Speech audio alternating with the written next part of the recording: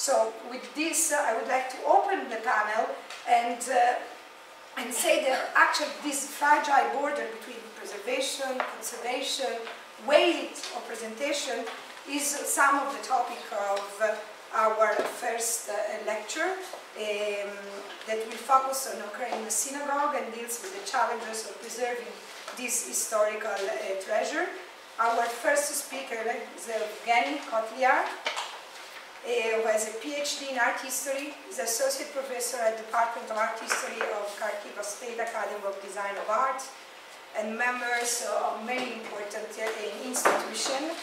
He's author of more than 140 publications. The main field of research is Jewish art and synagogue, wall paintings, decoration, and he participated in the restoration of synagogue and Jewish community centers in many cities of Ukraine as designer and stained glass Windows artist, and we are looking forward to hear from you. Thank you. Thank you very much. You will find yourself here. Thanks.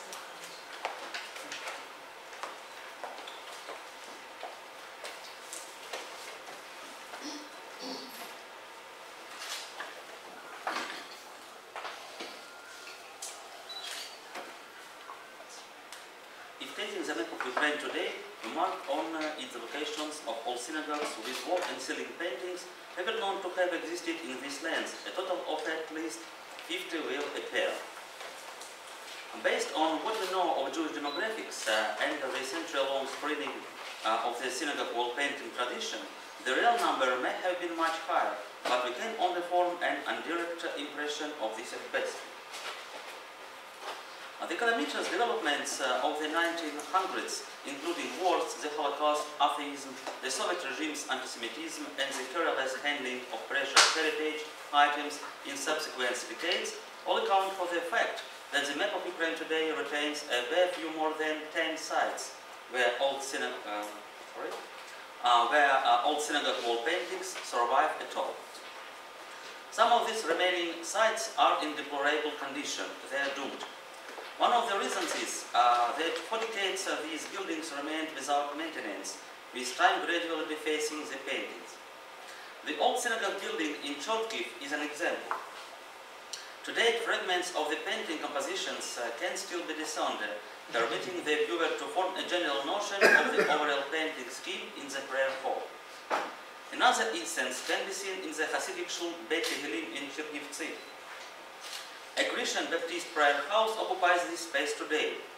With painstaking effort in the clumbing, in the crumbling uh, stratum of paint, the visitor of today may be able to identify certain narrative compositions and partly envision the painting scheme as a whole. The historic paintings uh, are disintegrating before our very eyes uh, as the second story, uh, where the prayer hall of the synagogue used to be situated, is constructed anew. Almost nothing remains of the paintings in the synagogue of Rabbi Israel Friedman, the Tzaddik of Sadgora. Albeit the building itself is slowly undergoing reconstruction, there is nothing there today from which the paintings may be reconstructed. In effect, there are only five buildings left to discuss. Uh, ones uh, housing former synagogues, which have again become functional, and where a unified painting ensemble may still be seen in the prayer hall in a status of relative completeness. Their all date uh, the first half of the 20th century. Three of these monuments, monuments preserve narrative symbolic decoration typical of the traditional synagogues of Eastern Europe. There are the Gilad synagogue in Lviv, the Beit Benjamin synagogue in Chernivtsi, and the new great synagogue which has recently been opened in Novoselitsa in the same region of northern Bukovina. Two other sites provide instances of a different type of decoration, ornamentation typical of Reformed temples. The two are located in the Transcarpathian region in Uzhgorod and Khust, um, and bear a stylistic kinship uh, to the synagogues of Hungary. It bears nothing that a number of unique sites have been discovered and resorted in recent years, all while the general tendency for surviving remnants of synagogue decoration at present is to disappear entirely. One of the recently discovered sites, the synagogue mentioned earlier in Novoselitsa, Chernivtsi Oblast, opened in uh, 2009. judging uh, by the preserved inscriptions with donors' names, names its wall paintings were done in 1919 uh, by an artist uh, named Fishman. The monument uh, makes it possible to trace the development of wall paintings in the synagogues of northern Bukovina. The Bet Hillel Benjamin synagogue in Chernivtsi uh, was painted according to the same model scheme in the 1930s. Another site of significance, the wall paintings uh, of the small hall in the Groise Shil synagogue in Chernivtsi um, was discovered in 2013. Its painting were executed in the late 1930s by Itzhak Issachar Isakovich, a local artist. The fragments found in 2015 of a painting stratum in the former choral synagogue of the town of Beregovo in the Transcarpathian region may be part of the same tradition like the wall paintings of the synagogue which we mentioned earlier in Khust. Though an integral part of the Jewish heritage, synagogue wall paintings did not attract due attention during the first decades of Ukraine's independence, when the rebirth of Jewish life began. Up to early 2000s, Jewish communities were more concerned about issues of restitution of former Jewish property and reconstructing recovered synagogue buildings to serve new needs. Work on this, uh, of this kind was coordinated by the Committee for the Preservation of the Jewish Heritage at the Vaad of Ukraine, along with the Joint Distribution Committee. It was only during the last decade that the remaining sites of synagogue wall paintings became the object of special attention of both researchers and the Jewish public. This was dictated by the new stage of development reached, by Jewish life in Ukraine, which made the goal of preserving the Jewish heritage and committing it to the museum conditions particularly pertinent. Uh, the experience accumulated to date of preserving surviving instances of uh, synagogue paintings involves a variety of approaches depending on the particular situation in each case. In nearly all cases, this means an intricate compromise between the desire to reveal, preserve, and renew old paintings. Today we are in a position to think through, uh, through the achievements and the mistakes made in this area, given how often overly hastily or un, uh, inadequately considered strategi strategies lead to destructive consequences, either obvious or latent. Let us take a look at a few uh, telling examples involving different approaches to this problem. First example, uh, comprehensive reconstruction with refurbishing of some of uh, the paintings and restoration of individual painting cycles. This approach was restored to, uh, restored to in the reconstruction of the Shchekavytska synagogue in Podol built in uh, 1895.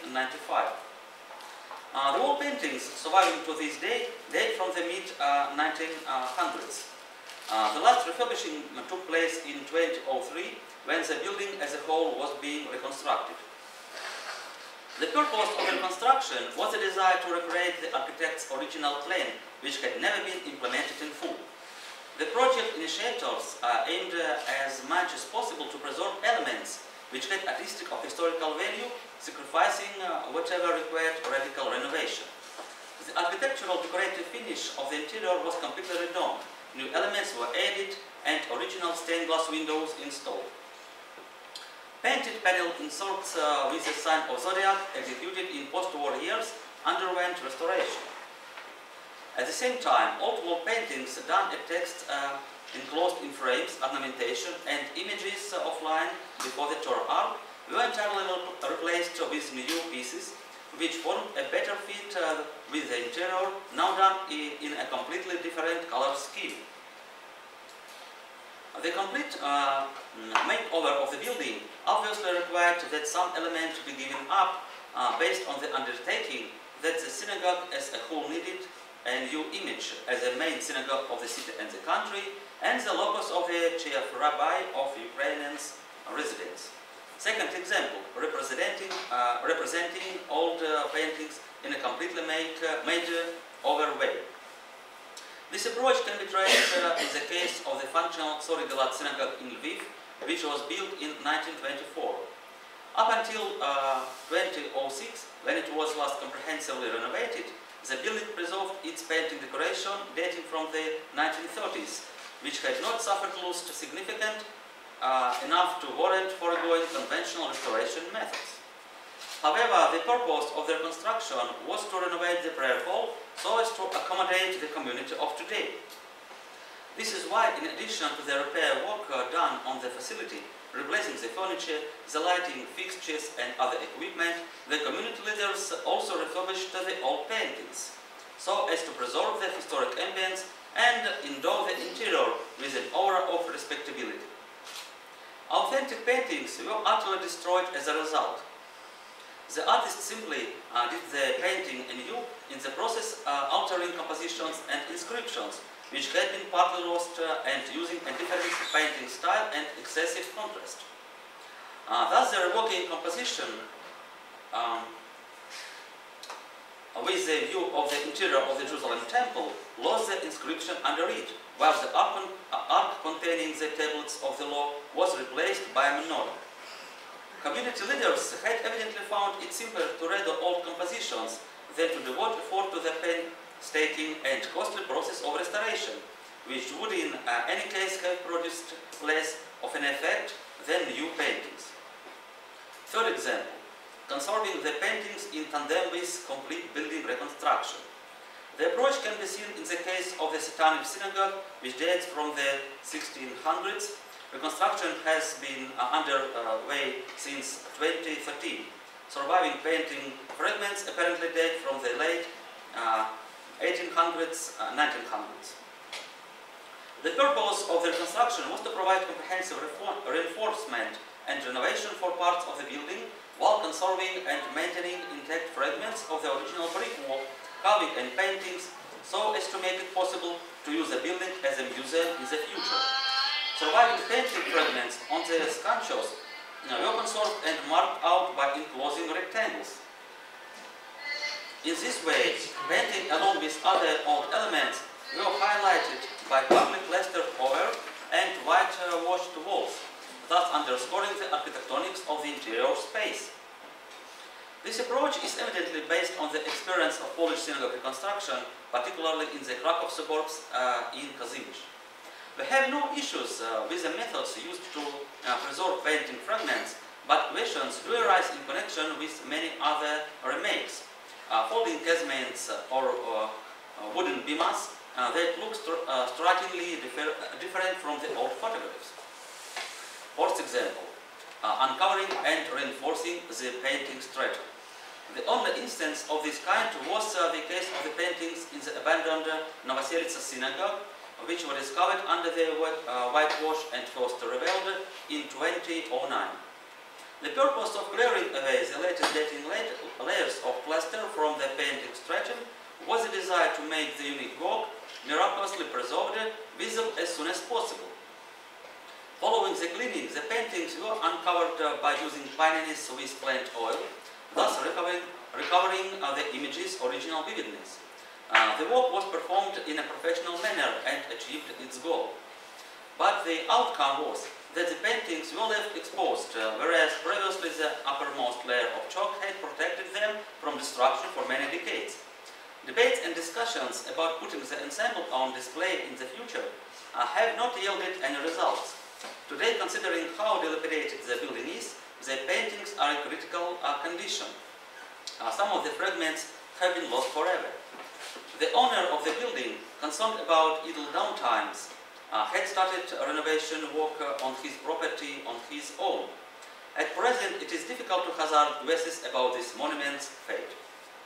The approaches mentioned to reveal a cluster of issues in connection with preserving old paintings in their original condition. A lot depends on the condition, uh, status and ownership uh, of the buildings in question. Um, just a moment. Uh, in cases when the building uh, is in use as a synagogue, the community itself often prefers getting a comfortable, renovated prayer space rather than an authentic monument bearing marks of destruction and decay. if the building uh, is in neglect condition, the question arises about continuing to use it to remaking it into a cultural institution. All the more so if the building is, uh, is privately owned. Having left this problem unsolved for the Novoselitsa synagogue, we have acquired this monument for purposes uh, of academic discourse, but may well lose it as a tangible object in reality. Finally, if the synagogue is managed by the community, with its paintings preserved uh, without suffering in, uh, the same ruin is in the synagogue in Khust, uh, then it needs to be entrusted to international care and efforts need to be coordinated between the building's owners and the community leadership to ensure the painting's conservation. In any event, uh, um, it uh, appears to be of paramount importance to set up a separate register of monuments of this kind, to enter them in an international project and jointly to provide for their conservation. Given the real situation in Ukraine today, it needs to be made clear the issue, uh, that the issue of restoring an aspect appropriated for a historical monument to the old uh, synagogue paintings, as well as to the former synagogue buildings uh, overall, is bound up with a series of objective problems. First of all, uh, there is a drastic drop in Jewish population figures and in the Jewish social activism, especially in the more modest-sized towns, a circumstance which precludes financing for projects uh, of this kind, as well as masking use of the building later. Second, without international support, it is extremely difficult to repurpose uh, these buildings to make them into city museums, as has been done, for instance, in Poland, where, where the buildings were uh, subsequently handed over to be managed by the state. Overall, sadly, we confirm that the surviving works are in most cases doomed to vanish. This fact, along with the importance of eternalizing the works, already don't complete us uh, to search for other ways of preserving this heritage in our cultural tradition and to think about transferring it to a different, more reliable memory carrier.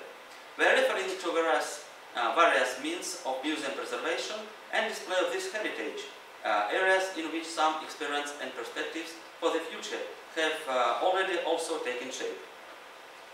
Way number one, making models of old synagogues interiors with wall paintings for Jewish museums. This approach can be traced in uh, well-known uh, copies of wooden synagogue wall paintings uh, from Khodorov and Gvozdets. Uh, both synagogues uh, were formerly located in lands uh, which are part of Ukraine today. way number two, using motifs taken from synagogue paintings in Jewish communities and new construction projects. An approach expressive of uh, creative rethinking of tradition. The first instance is a, a, memory of the Jewish people and the Holocaust in Ukraine Museum at the Tkuma Jewish Center in Dnipro, former Dnipropetrovsk. Here the design of the hall uh, devoted to a display of the traditional lifestyle of Eastern European Jewry incorporates a collage of fragments taken from the synagogue wall paintings in Khodorov, Chernivtsi, Fort and others to uh, produce a cumulative impression uh, of a traditional synagogue's liturgical space. Our next example is Shtetl, uh, the Jewish cafe in the Beit Dan Jewish Cultural Center's buildings in Kharkiv. The popular motif taken from the Khodorov synagogue wall paintings had here also been incorporated into the decoration scheme as a part of uh, Eastern Ukraine, uh, European Jewish culture. The zodiacal motif from the Khodorov synagogue also appears in a third instance, decorating the synagogue in the Jewish uh, community center building central building in Sumy. Here the borrowing occurs in an altered color scheme and a different compositional structure. The 12 compositions are each displayed separately uh, in a uh, round frame with uh, three insets on each of the four walls. Way number three, exhibition projects. An approach making it possible to convey uh, surviving items, uh, scholarly research, hypotheses and reconstructions as attention-grabbing exhibition projects. An example is the making of the How Goodly Are You 10th or Jacob, the wall painting uh, of the synagogues of Bukovina project, worked on jointly in uh, 2015-2016 by the author of the present paper and the Chernivtsi Museum of the History of and Culture of the Jews of Bukovina with academic support by Dr. Ilya Rodov and Dr. Vladimir Levin. Uh, the project included eight Bukovina synagogues, uh, four each from the territory of today's Romania and Ukraine. Uh, each site uh, documented by a set of materials consisting uh, of the painting program, photo reconstructions, and eight descriptions of the most representative painting composition. Articles providing a general background information made it possible to introduce the regional specified specificity, specificity of this tradition. The special highlight of the project provide uh, to be uh, developed, uh, developing 2D reconstruction plans of the painting schemes and photographic displays. This made it possible to internalize uh, as well as make visually accessible surviving groups of paintings. In some cases, as in the ruins of the Beit Tehillim synagogue in Chernivtsi, we were able to reconstruct part of uh, an old bust a lot uh, painting. Um, thus, uh, based on the surviving details of the ceiling decoration, certain elements of the painting were recreated. From this, the original appearance of the painted of the painted ceiling re-emerged. Superimposing the lost fragments upon the result made it possible to come up with a photo display which enabled the viewer to envision the ceiling in its initial gaze and appreciate its uh, condition, uh, condition at present. Doing similar work on other parts of the paintings enables us to recreate the painting program, um, except for compositions completely lost. The same kind of work was done in other synagogues, which have uh, reached us in varying states of dilapidation. The exhibition catalog is now ready, and uh, now uh, I want to present it, this catalog. Um, and the exhibit uh, itself will uh, go on display in different sites of Ukraine and Romania, beginning uh, in October this year. Now concerning uh, perspectives uh, for the future. Uh, and way number four, 3D multimedia presentations. Based on accumulated experience in creating copies of synagogue interiors with paintings and 2D reconstructions, it seems um, feasible to make use of modern multimedia technologies to design 3D presentations with interactive navigation. The Center for Jewish Art at the Hebrew University of Jerusalem and the Bet Tfila Center at the Technical University of Braunschweig have some experience today in developing computer computerized synagogue models. Our experience also enables enable uh, us to develop uh, a digitalized model of the wooden synagogue in Smotrich. It seems uh, quite feasible to superimpose painting display, displays uh, done by hand or by computer on the modeled part of buildings, especially considering uh, that we have some old photographs to make use uh, of at our disposal. Certain compositions which did not make it into any historic photographs, uh, photos and fragments which have been lost can be negated by special masking camouflage. The painting compositions most likely to have been there can also be indicated on the wall, walls and vaults.